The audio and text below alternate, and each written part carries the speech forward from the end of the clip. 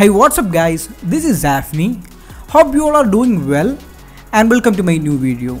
So in this video, I will show you the 15 tips for the Samsung Galaxy M20, the budget smartphone from Samsung.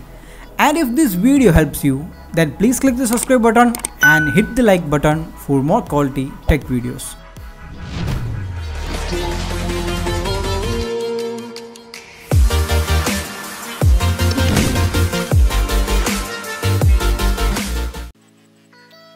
Welcome back to my channel guys and we are getting started into the 15 amazing tips for the Samsung Galaxy M20. So let's get started with the first one, the assistant menu. Actually it's a kind of floating button which contains navigation button and some sort of shortcuts. To enabling this feature, go to settings, scroll down, then select the accessibility. After that, select the dexterity and interaction. So on the top, you can see the assistant menu. Turn on the toggle button, then you're almost done. So this is the way it looks like and also you can adjust the transparency and size of the assistant menu too in the menu settings.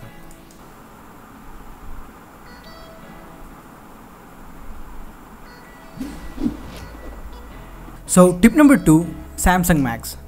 I already installed the application in my phone and you can download it from the Play Store. Just search for Samsung Max.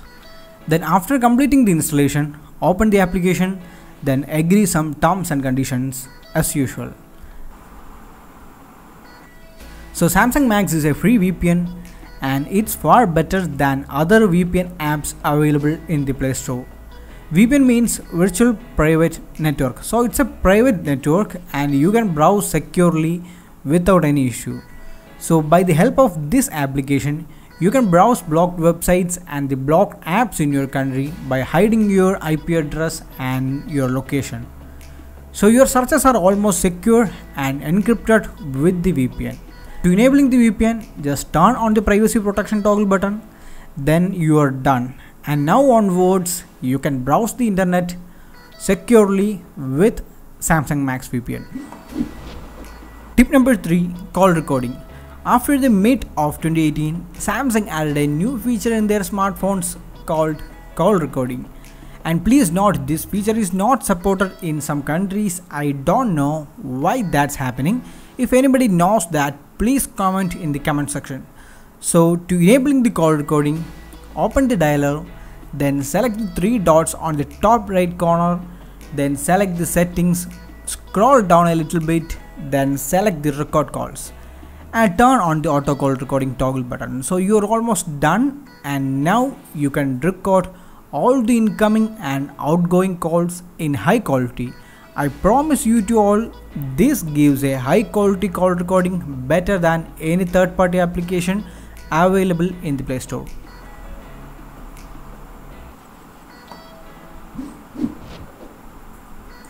Tip number 4 Dark Mode or Dark Theme. Out of the box, the Galaxy M20 comes with Android Oreo, so there is no night mode feature available in the M20.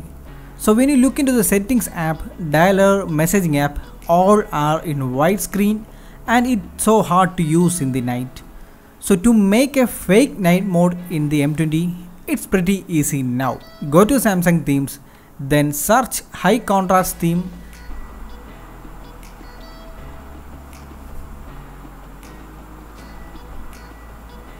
then select the first theme because the icons are fully same as the Samsung icons.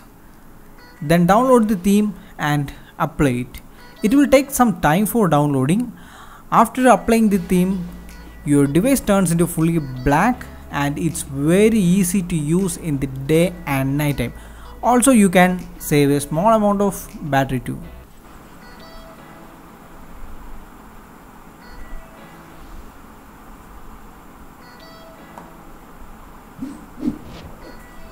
Tip number 5 Touch sensitivity.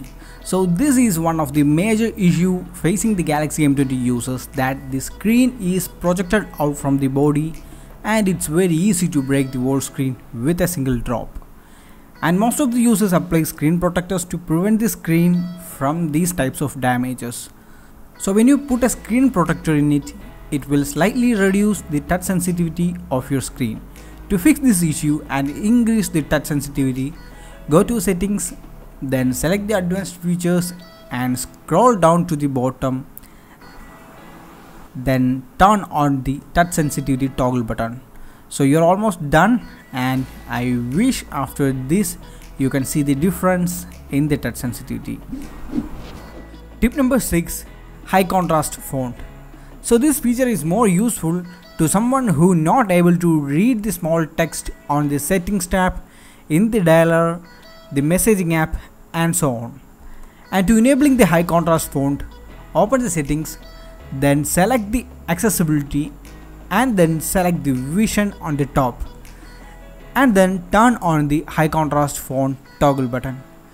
So now you can see the difference how it looks like before and after we enabling the high contrast font. So this is pretty cool and so dark the fonts are. So you can easily read without any struggle. Tip number 7 Quick Open Notification Panel. Out of the box, Samsung comes with some default settings like swipe up and swipe down for app drawer and if you want to access the notification bar then you must go to the top of the screen so if you want to access the notification much easier than this then go to the home screen settings and turn on the toggle button for the quick open notification panel so that's it and you are done and from now onwards you can open the notification panel by simply swipe down the home screen and then swipe up for the app drawer. Tip number 8 Lock Screen Stories. So there is some advanced settings in the lock screen stories. To access those settings, open the settings app, then select the lock screen and select the lock screen stories. Then if you don't want to see those lock screen stories, then turn off the toggle button and it will completely shut off the lock screen stories. And the second thing is you can also add your own photos to it and customize the lock screen too. So you can add the images from the gallery and it will shuffle the images with the lock screen stories. So that's a nice thing that you can also add your your own stories too. Tip number 9 dot notification. After the first boot up, you can see some notification bar just on the top side of the apps and it shows the number of notification you received. So for me, the notification numbers are really so annoying and to change the notification bar just to dot notification or you can turn it off. Go to the home screen settings, then turn off the app icon badges toggle button. So from now there is no app icon badges shown on your apps. Also there is an another feature too that is the dot notification. Turn on the toggle button and open the app icon badges then select the show without number. So you can see the difference in the screen and I love the dot notification more than the notification bars. It looks so good and it's really a minimal feel in the screen.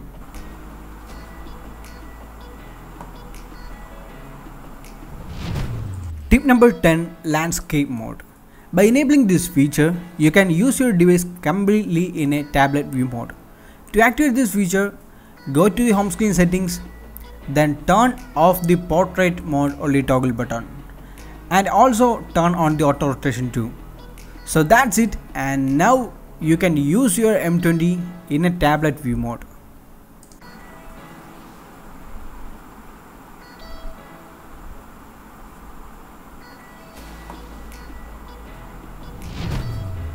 Tip number 11 Smart Alert. So it's a nice feature and very useful to all.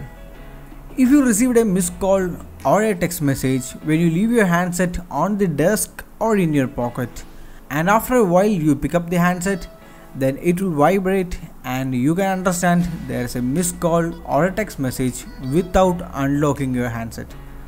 To enabling this feature, go to settings then select the advanced features and turn on the smart alert toggle button.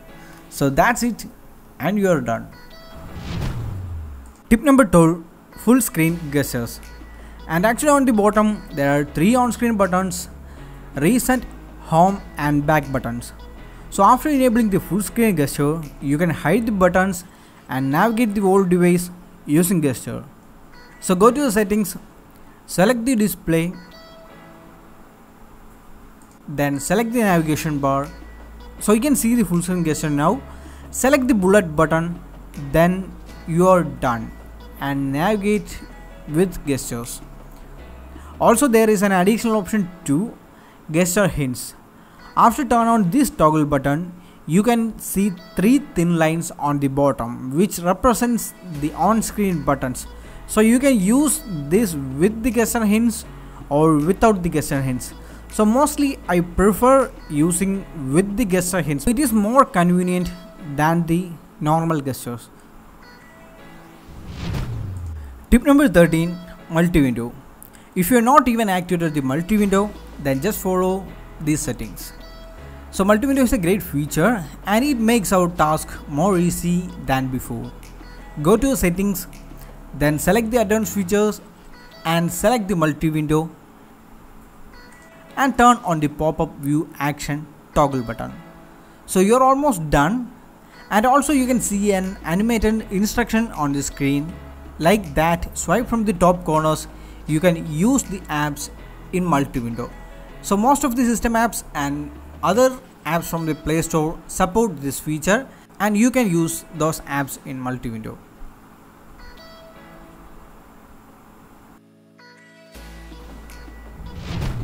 Tip number 14 camera floating button. So yeah there is a floating camera button and you can place it anywhere on the screen and capture photos easily. So simply swipe the shutter button to the screen then you will get a floating shutter button. And if you want to remove this from the screen then hold and swipe the floating button to the home button. That's it. Tip number 15 Secure Startup. So actually it's a next level security for the Samsung devices.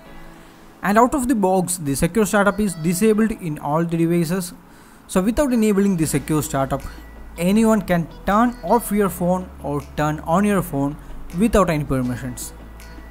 Then after enabling the secure startup, no one can turn on or turn off your device without drawing the pattern lock.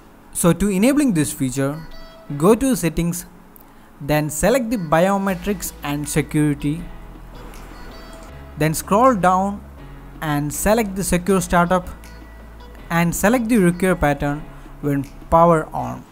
Then tap the ok button and confirm with your pattern.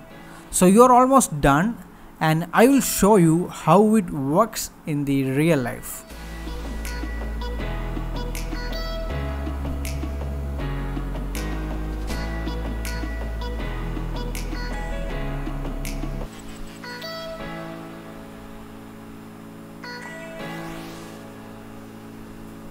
So thanks for watching my video guys and if this video helps you then please click the subscribe button and click the bell icon for more quality tech videos.